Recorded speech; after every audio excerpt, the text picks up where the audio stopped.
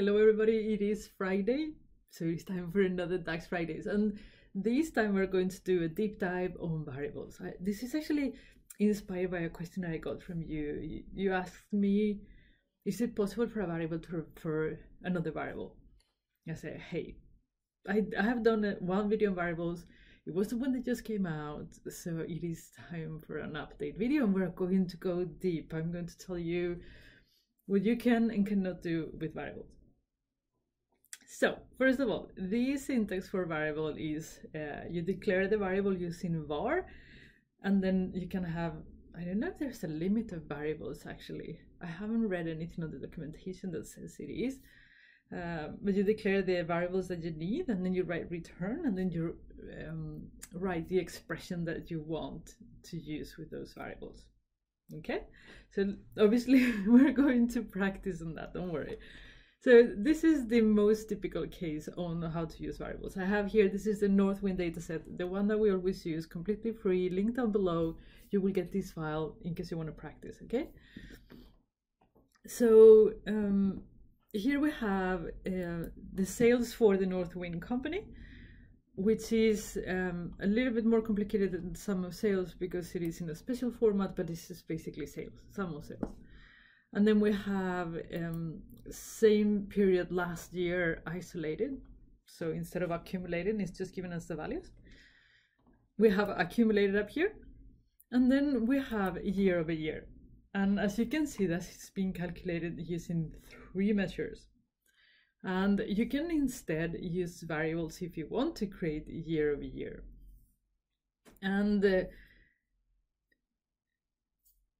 here's the thing. Let's let's do that. We are going to create exactly the same year over year uh, but using variables and we will go through the do's and don'ts.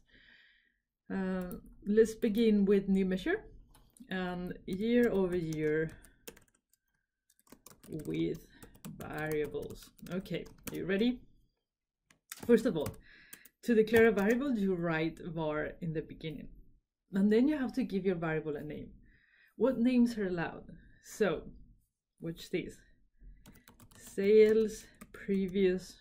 You see that it's complaining? It means that the variable name can only be one word. So if you do just sales equal, it doesn't complain. Another thing, there are some names that are reserved for variables that you cannot use. For example, if I write sum, did you see that it is also complaining, giving us an error? Or if I write count, and then you may think, oh, it is all the functions names that you cannot use. Mm -mm. Check this out. Cross filter. So you can use that. So I have no idea, and I haven't seen it in the documentation, which ones are reserved. But on the other hand, it's going to tell you. So when you start writing, if you start seeing red stuff showing up, it means that that's not allowed. Another thing that is not allowed, let me show you, is using numbers on the name of a variable. You won't allow it, so just don't. If you want to write a number, just write it, okay? Just write 10 instead of 1, 0, and then it would work. So that is for um, variable names. Same period last year, sales. That's the name that we're going to give to our first variable. So this is going to calculate the sales um, for the same period last year, as I mentioned it. And um, let me see, uh, we already have a measure for that. And here is where it gets tricky for me because if you're not going to use this that measure anywhere else, but just to calculate the year over year, for sure, you just put it in here and then you're done. So you go calculate sales, uh, same period last year, calendar date. There are a thousand ways to calculate this. is one of them. And you're done. Okay? Now, we do have a sales uh, function. And here's what I'm not really sure because you can obviously write a new variable here that says current sales and then you write sum of sales or whatever it is to do to calculate sum of sales and, and declare it again. So obviously you need to have a measure specific for that for the calculations, but you can also specify it here. So there's nothing that says here that you shouldn't write it again. Um, a variable can reference a measure. So I can write here like that. So I'm saying the current sales is the measure called sales. And you can write a comment that says this is the measure that calculates current sales. Write comments, it helps a lot, a lot.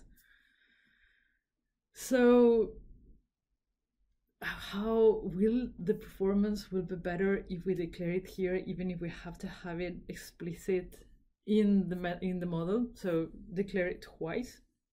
Here's the thing. Variables gets calculated and stored. So if there are no changes it won't recalculate. So it would be definitely an improvement performance. But when is measures static? That's my question. I mean, you're always filtering by year or by product or by category or by. So mean, in my head, you will have to recalculate all the time. So it wouldn't make any difference. So the only reason why you should specify it here is to be extra clear as to how you're calculating year over year. And in that case, I will reference the measure instead of writing it again is there any performance improvements of that? I don't know. If you know, let me know. Um, but more often than not, I just don't bother about it. So I just don't specify whatsoever, only in the results.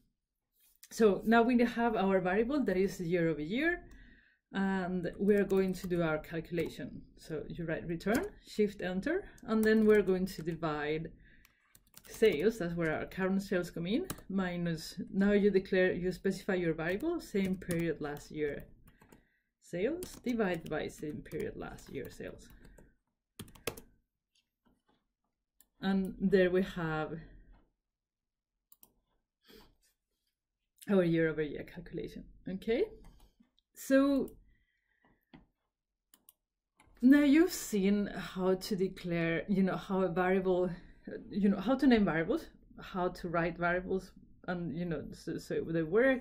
We've seen the variables can refer to measures and the question i've got is can a variable refer another variable?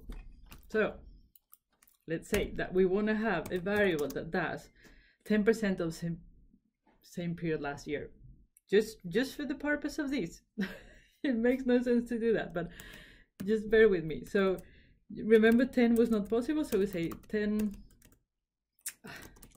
10 percent same period last year sales. Which is same period last year sales times 10% and you can actually declare a variable and don't use it why would you do that? Don't but you can. You're not going to get an error. And you can, a variable can refer to another variable. As you can see, works beautifully is absolutely no problem. So in case you're you know, using like measures that refers to measures, then you can do variables that refer to variables and it will work beautifully. Where else? Where else? Um, yeah, we have, um, just so make sure um, listen to this. This says columns in table variables cannot be referenced via table name column name syntax. Uh, what? okay, here, here's the thing. Variables can store numbers. You know, so the result of same period last year sales is a number. It's like 3 million, 200,000, whatever it is. Fine.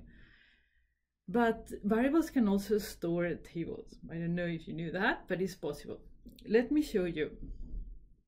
Um, we're going to create a new table and I'm doing it here so you can actually see the results, right? So we want to calculate how many customers have more order more than 15 orders, you know, so our a customers, who they are. And for that, we're going to create a virtual table that then we're do, going to do a calculation on. So just so you see how they work. So we go summarized, and then we're going to summarize our orders table. And then we're going to have a customer ID from orders. So we want to have the table customer ID and then we want to have um, unique, no, count orders for each customer.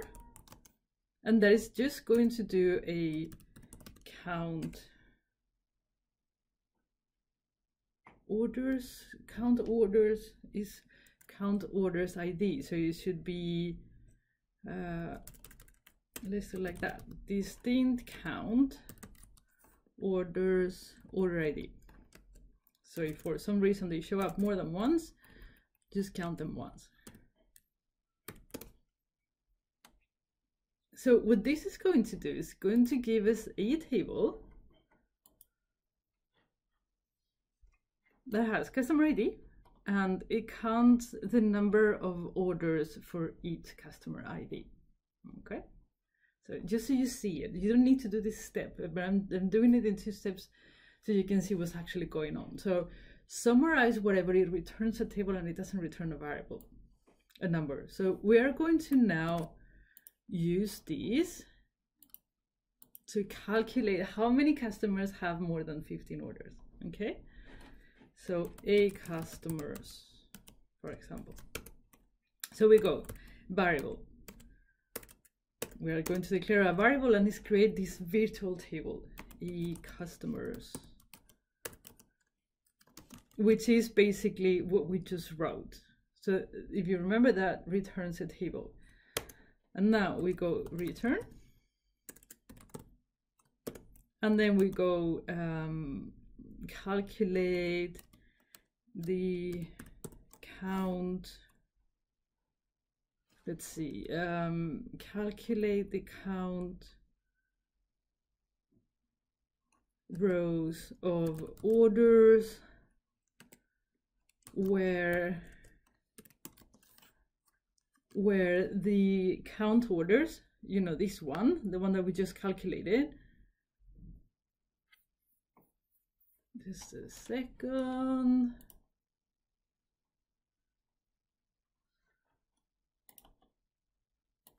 So a customers, and then you want to put count orders, and you say you can't reference it. You see, it doesn't let us. So you cannot reference a column from a virtual table that is stored in a variable. Did that make sense? But again, you cannot reference these.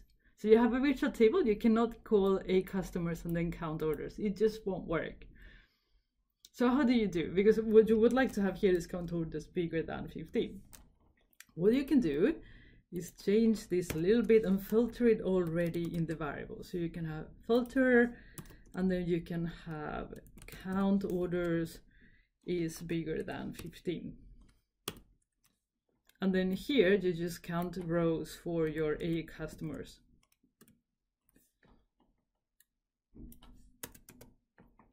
And you don't need calculate anymore. Get out, get away. Oh. Oh my god, where did it go here? So, so as you can see, it is still possible, but you have to do it in a different way because you cannot reference a column that comes from a virtual table that is stored in a variable. Okay, I hope that it made sense. I really hope so. Um, but you can store tables in variables. In case you didn't know, it is 100% possible. Okay, so I hope that this video made a little bit clearer how to use variables, um, whether they are useful, things that you can do, things that you cannot do, and again, if you have any comments about my performance question in the beginning, just let me know in the comment box. Otherwise, I will see you again on Monday. So until then, take care and uh, have a great weekend. Bye.